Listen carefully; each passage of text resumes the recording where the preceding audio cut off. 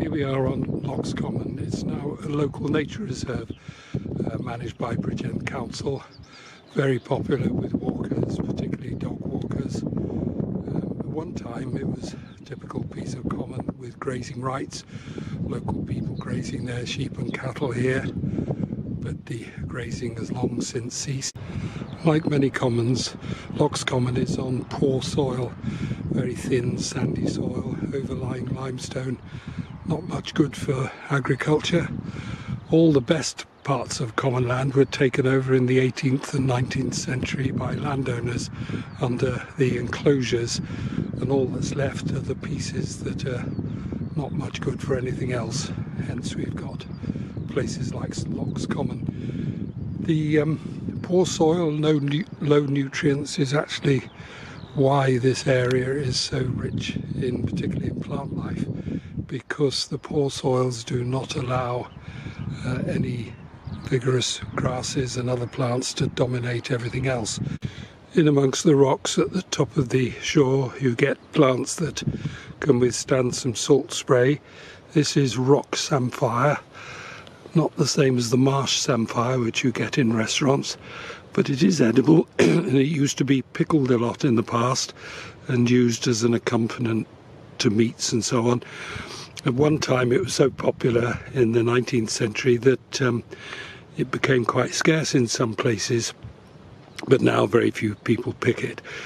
Um, I'm all for foraging where you're just collecting it for your own use but commercial foraging, where people collect plants like this for um, restaurants, I think is another matter and um, can cause big problems.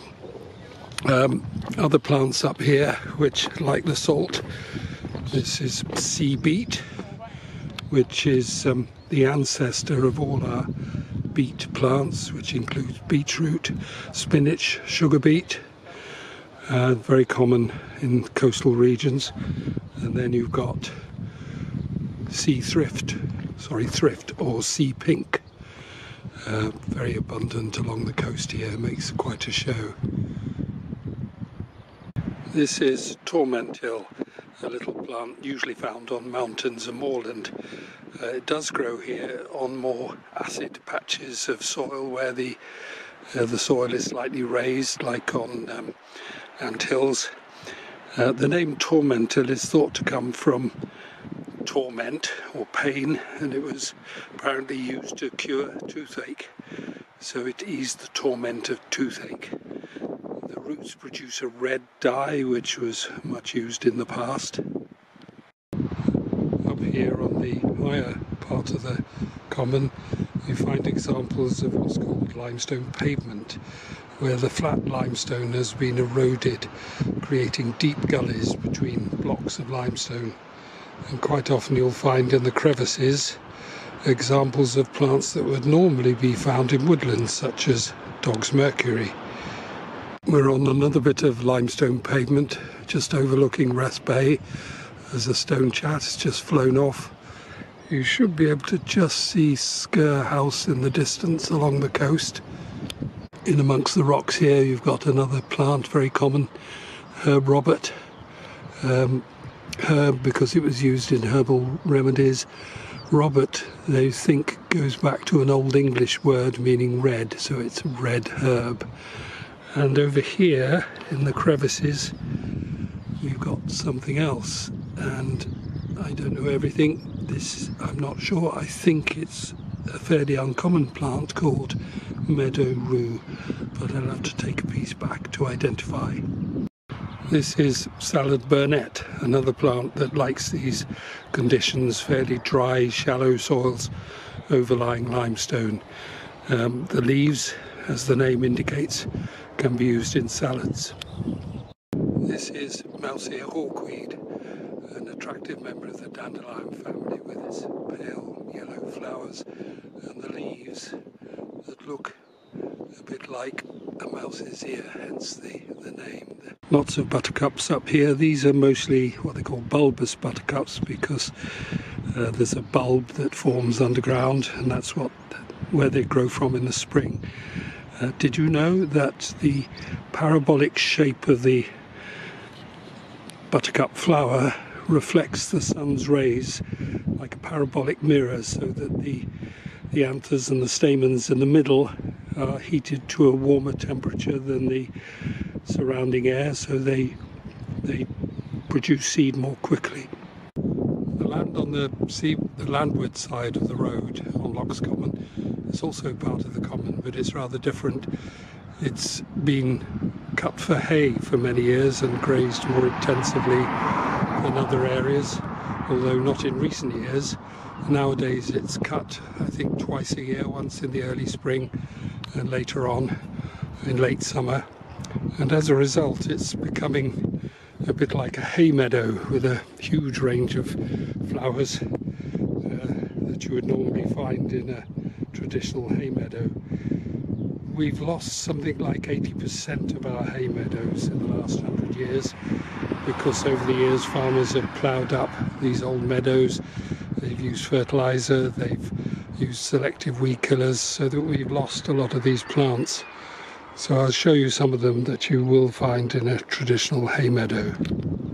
Some plants typical of hay meadows. Here's bird's foot trefoil and over here you've got red clover. And over here come back a bit this is plantain with the long narrow leaves. And of course buttercups. This is common sorrel. It's a relative of rhubarb. Um, the leaves can be stewed like spinach and they've got a nice sort of sharp flavour and uh, quite popular in posh restaurants. I didn't know this was here. This is pig nut, um, a member of the umbelliferae family, same family as cow parsley and so on. I noticed the very finely divided leaves. If you dig down, you'll find a little nut underneath, and those are edible. Um, pigs obviously uh, like them, hence the name pig nut. But I remember as a kid we used to dig them up and eat them. Quite a peppery taste, but um, there we are, pig nut.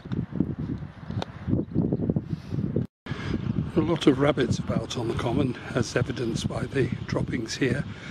Don't see them very often because they tend to come out evenings and early mornings but they're quite important because they keep the grass down where it's already been kept short by trampling. Um, they tend to do their droppings in one place, so you find little piles like this. Also, they're what's called coprophagous, in that they actually eat their own droppings because um, the first time the grass goes through their system doesn't extract all the um, good nutrients from it, so they eat it a second time, get a second helping. Along here you'll find various plants and animals and birds which are more typical of hedgerows and roads, so we'll have a look at some of those on the way back. Here's a bumblebee feeding on the gorse flowers. This is a white-tailed bumblebee for obvious reasons. So the gorse, as well as being a habitat for birds, is also an important food source for all sorts of insects. This is a bumblebee feeding on knapweed. Not sure what species it is. I will have to look it up. But it shows the importance of plants like knapweed as a nectar source for bees and other insects. Little bird sitting on top of a bush is a white throat. If I could get closer you could see the white throat, but the song is very characteristic.